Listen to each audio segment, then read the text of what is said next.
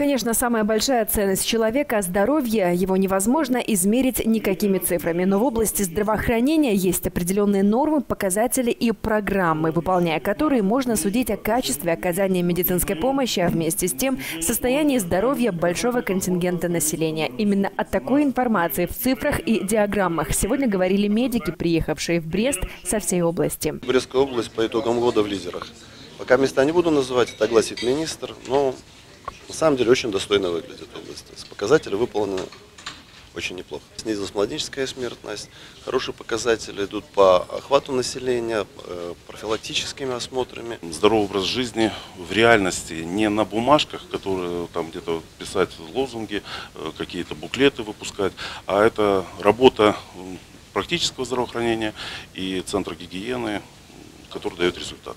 Мы надеемся, что сегодня те акценты, которые мы расставим для регионов и поставим задачи, это поможет нам еще улучшить. Брещина сегодня обладатель самых лучших показателей сразу в нескольких областях. Низкого показателя смертности удалось достичь за счет сокращения случаев смерти от инфекционных заболеваний новообразований по причине старения. Показало свою эффективность предабортное консультирование. Оно позволило сохранить более 600 первоначально нежелательных беременностей. Есть хорошие новости в области онкологии. Процент выявленных пациентов с заболеванием на ранних стадиях увеличился более чем на 80% пациентов. Продолжаются скрининги э, рака молочной железы, э, рака предстательной железы, э, колоректального рака. Начался скрининг рака шейки матки.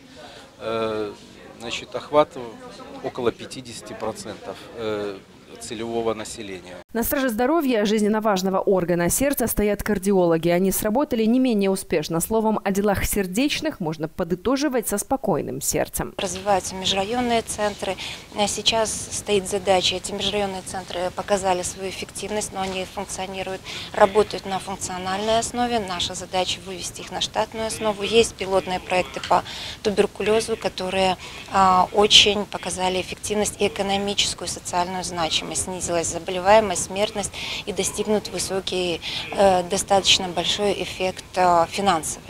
Поэтому это основные направления нашей деятельности. Конечно, преемственность с первичным звеном, конечно, отбор пациентов, э, качество работы и дальнейшая доступность этих современных методик. Конечно, качество оказания услуг и материально-техническая база – два неразделимых фактора жизнедеятельности учреждения здравоохранения. Поэтому укрепление больницы, поликлиник современным оборудованием, возведение новых объектов – процесс постоянный. В этом году в Заречном районе Бреста начнется строительство многопрофильного медицинского центра, куда войдут поликлиники для взрослых и педиатрическая, женская консультация, стационарное отделение. Также в 2019 будет дан старт возведению нового корпуса в детской областной больнице. На первом э, этаже мы планируем поставить э, компьютерный томограф и магнитно-резонансный томограф для улучшения диагностики детей.